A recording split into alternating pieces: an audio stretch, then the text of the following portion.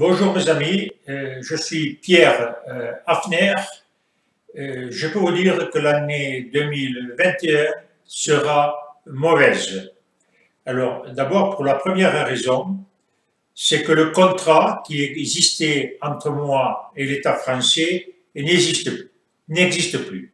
Ce contrat, c'est que l'État doit assurer tout d'abord la liberté des citoyens et ma liberté en particulier. Ce contrat n'existe plus parce que nous ne sommes plus dans un état de droit. Alors d'une manière concrète, qui a rompu le contrat qui me liait avec l'État français? C'est l'État français lui-même. J'ai été agressé physiquement trois fois par la police et la gendarmerie, dont ce sont les forces de l'État français, parce que je filmais des événements publics. J'étais sur euh, l'herbe, je ne gênais personne, et là, les policiers m'ont interdit de filmer. Les, les, policiers ont violé la loi, les policiers et les gendarmes. Ils ne représentent pas la loi, ils représentent une mafia qui fait sa loi et qui utilise la force dont elle dispose, non pas pour défendre la loi, mais pour imposer sa loi, la loi des mafieux. Alors j'ai été agressé euh, trois fois, euh, tout cela ça a été, je l'ai filmé, c'est sur mes sites, en présence d'autres policiers et d'autres gendarmes qui auraient dû arrêter leurs collègues qui violaient la loi. Ils auraient dû faire des rapports en conséquence. Ils ne l'ont pas fait. Cela veut dire que j'ai pas affaire à des personnages mafieux, mais à une organisation mafieuse, où il y a la loi de l'Omerta et qui se couvre. ça, c'est un premier point. lors du G7 à Biarritz, j'ai été arrêté tous les jours, à quelques mètres de chez moi. Arrêté euh, palpé, fouillé, palpé et mis en garde à vue, dont une fois déporté à, euh, à Andaï, à 30 km de là. Et pour entrer, ben, je me débrouille. En fait, ils m'ont porté là-bas pour me scanner le téléphone. C'est l'occupant.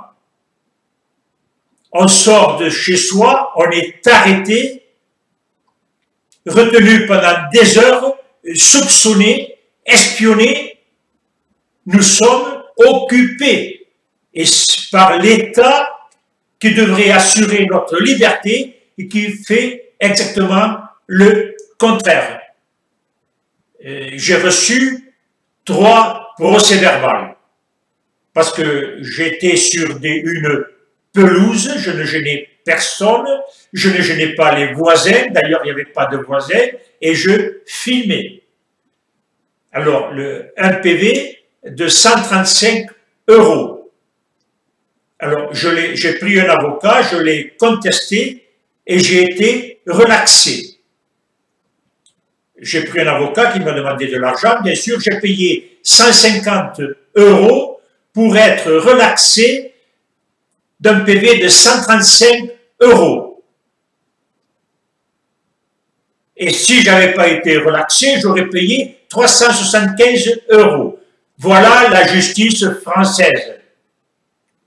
La justice française, c'est une organisation mafieuse qui est faite pour, non pas pour poursuivre les délinquants, j'en cite un, c'est Benalla, mais vous en connaissez d'autres. Vous avez Baladur qui attend encore son jugement pour des histoires mafieuses euh, dans lesquelles il y a eu 11 morts. La justice française, c'est l'arme de ce pouvoir mafieux pour écraser les opposants, pour interdire les libertés. Et en définitive, pour ce premier PV, j'ai payé 150 euros pour être relaxé de 135 euros. Si j'avais pas pris un avocat, j'aurais pas été relaxé, j'aurais payé 535 euros d'amende. J'ai pris deux autres PV. Alors, un, ils sont passés, ils m'ont vu de loin, et j'ai reçu le PV à la maison. Alors, il a été envoyé à Monsieur Pierre Hafner, né à Bagnères de Bigorre, dans les Hautes-Pyrénées. Alors, Monsieur Hafner, né à Bagnères de Bigorre, dans les Hautes-Pyrénées, je ne le connais pas. Parce que moi, je suis né à Bagnères de Luchon, dans la Haute-Garonne.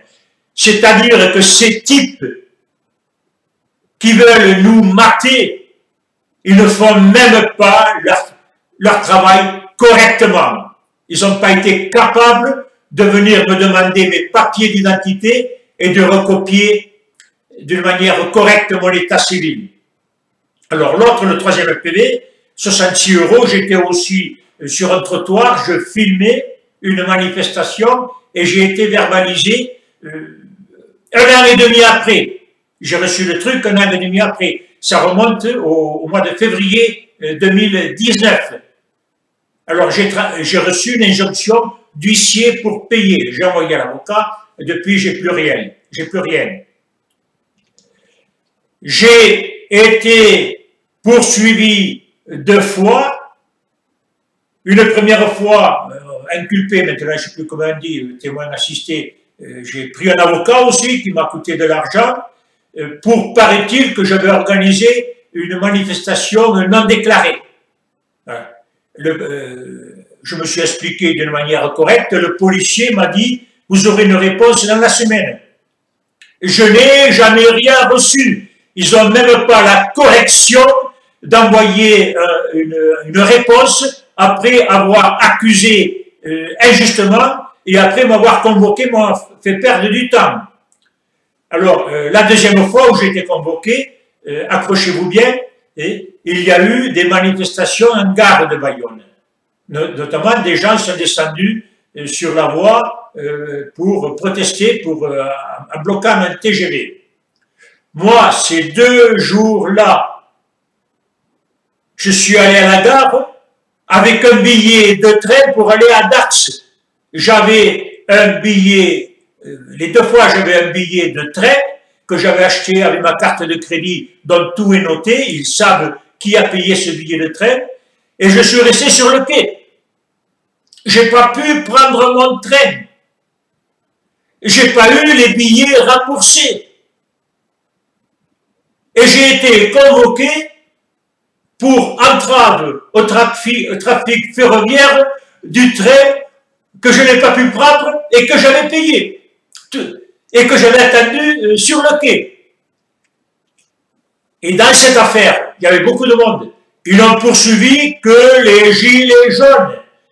Ce sont des accusations ciblées pour mater une catégorie de gens. Alors pourquoi ils n'ont pas, pas, pas convoqué les autres? Parce qu'ils veulent diviser. À ce moment, il faut faut pas matraquer tout le monde, il faut matraquer un groupe particulier, celui à ce moment-là qu'on veut éliminer. Les gens ont une, un gilet jaune, moi j'ai une veste jaune parce que je fais du boulot. Ce sont des voyous. Ils ont rompu, l'État a rompu le contrat primordial qu'il avait, qu'il a avec la population, avec la nation, et avec moi en particulier c'est garantir les libertés. Et maintenant, il faut renverser cet État. Cet État qui n'est plus capable, et non seulement plus capable, mais qui agresse nos libertés, doit être renversé. Je vais citer un autre cas. Euh, j'ai, en 2016, j'ai vécu 25 ans en Russie, j'ai été agressé par le FSB, par les forces de sécurité russes, et à Moscou. Moi, français, je suis agressé par des services de sécurité russes. Le lendemain, je vais sonner au consulat pour voir, pour, euh, pour expliquer ce qui m'était passé à l'attaché de police.